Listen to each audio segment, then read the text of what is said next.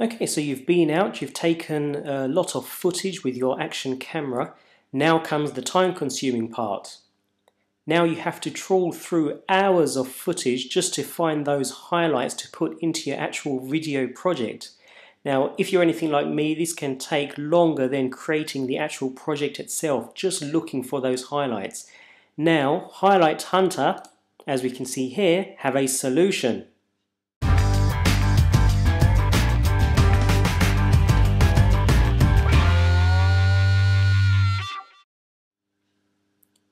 So Highlight Hunter, as we can see from the website here at highlighthunter.com, um, goes through all of your video footage and will look for bookmarks to create your highlights. So if we scroll down from their website here, this is exactly how it works and it's as simple as this. You simply record your footage uh, record everything, don't worry about having too much. So I simply set my GoPro on to record and leave it recording. Whether it's boring or not, I'll leave it recording. You never know when you're going to get that great bit of footage and you really don't want to miss it. Now this is the important part. You need to bookmark your highlights. So after you've uh, seen a section of video or recorded a section of video that you know you're definitely going to use in your project, you bookmark it by covering the camera lens. Uh, and then the actual software will create a 30 second highlight for each video. Now 30 seconds you can set, uh, I think it's up to about two minutes or down to five or 10 seconds if you want to. And we'll look at that later. So let's, let's have a look at book, uh, bookmarking, sorry, and uh, find out exactly what bookmarking entails. Okay, so what is an actual bookmark and how do we create one? Now, I'm using a GoPro Hero 2 here. Bear in mind you can use any camera. It doesn't matter which video camera you use. You can use a digital camera and, and put it into video mode and shoot with that if you want to. Um, a bookmark is a portion, just a one second portion that you create after a highlight. So say I've taken this out and I've recorded uh, some video of me on my bike or skiing or, or whatever, um, there's a point where you've uh, seen, captured something you know you're definitely going to be using in your project, so you want to bookmark that part of the video. Simply cover, cover the lens for one second, take your hand away. It's literally one second. Just cover the lens, take your hand away, that's it, bookmark created. And the software will actually look for where you've covered the lens and it will take it will create your actual clip, your highlight from where you've bookmarked the video. So I'll show you a quick, a quick example. I've taken this out, I've recorded some test footage in my car uh, just for a short drive, nothing exciting whatsoever. It's literally just test footage to see uh, how this software works. But um, I'll show you where I've created a bookmark and uh, then we'll take a more in-depth look at the software itself and see if it can actually create our highlight clips for us. Okay, so I've inserted my SD card from my GoPro into my Mac here. So if I go into the DCIM folder, you can see here's my clip. It's two and a half gig. Um, so we'll have a look at how quickly uh, Highlights Hunter actually goes through two and a half gig and grabs my highlights. If I just go into it here, I just want to show you. Um, so nothing exciting here at all but I'm sure I created a bookmark around, there we go. So you'll see that I created a bookmark at uh, the five minute point here and this is all I've basically done, that's it, hand over the lens, but notice how although I covered the lens, um, I've gone back too far there. If I go, although I've covered the lens, it's not completely black, so I've not completely covered it. So it'll be interesting to see whether the actual software will pick up this bookmark, even though uh, the lens is not completely black. So it's not a proper bookmark, as it were. Um, but what we'll do, we'll open the software and we'll uh, have a quick look at the software and then go through this clip and drag out the highlights. Okay, so if I open the software here, so here we go, Highlight Hunter.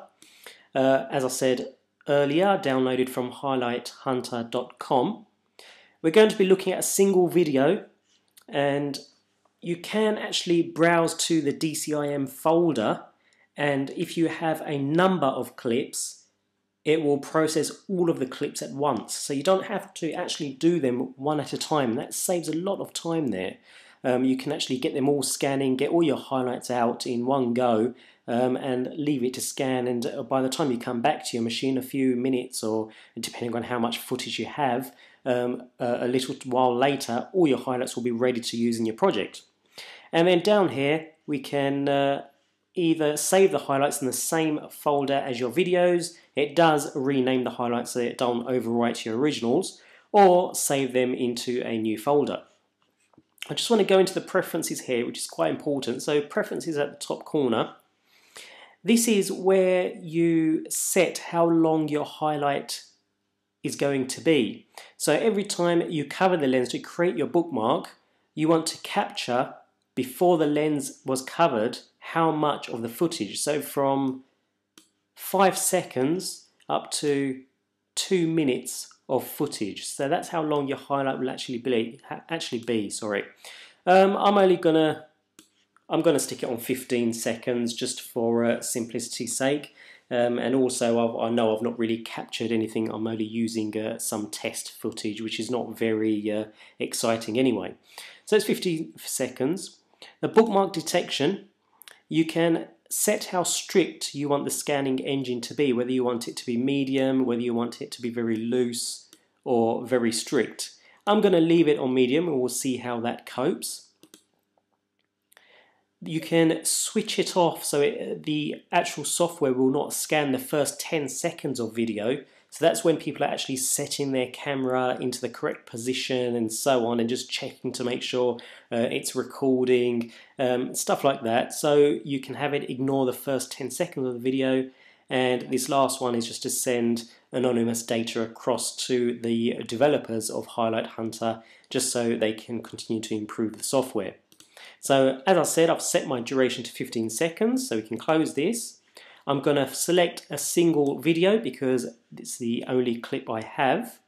So I'm going to go into DCIM, my GoPro, and select it here. Bear in mind it's two and a half gig, so we'll see how long it takes to process two and a half gigs there. So open that, and it puts the path into here. And I'm going to save my video into, we'll save it into my movies folder here. Open, and then we simply hit the button down the bottom to start the scan. Now by starting the scan it will tell you down the bottom here exactly which file it's actually scanning. I've only got one scanning so it's one of one and it gives you a rough time uh, a rough duration of how long it's going to take. So that two and a half gigs there is taking about around one minute which is quite good for a two and a half gig video. Now bear in mind that I've actually been through the 20 minutes of footage that I've recorded and I know that I have created nine bookmarks. So I'm expecting Highlight Hunter to create nine 15 minute highlight clips. Um, so it should create nine. Um, as we saw, my bookmarks weren't perfect, uh, didn't completely black out the video. So hopefully we will still get all nine highlights. Um, if not, I can obviously uh, increase the sensitivity and uh, try again. But hopefully this should give us nine highlights. So less than one minute left, we're almost there. So we'll just let this complete. And we're almost there, so it should be creating my highlight clips and putting them into the, the folder I suggested. And we're done. So now it's saving my clips into my folder. Brilliant, it's found all nine highlights. So all of the nine bookmarks I had created in that 20 minute clip have been recognized even though they didn't completely black out the footage. If I go to view highlights, it opens the actual folder I placed them into. If we look at the actual file name here, we can say, see the actual original file name. Uh, it's a highlight and the time frame it's recorded from and to. So that's quite um, that's quite useful in organising your video, so you're you know they're in the correct order and so on. So if I click on, let's say, one of these videos, it should start the highlight running. We can see here it's 15 seconds. If I just turn the volume down, we can see here it's, it was 15 seconds and it should end where I was creating the bookmark. So we're almost there. And that's where I created the bookmark and that's where the video ends.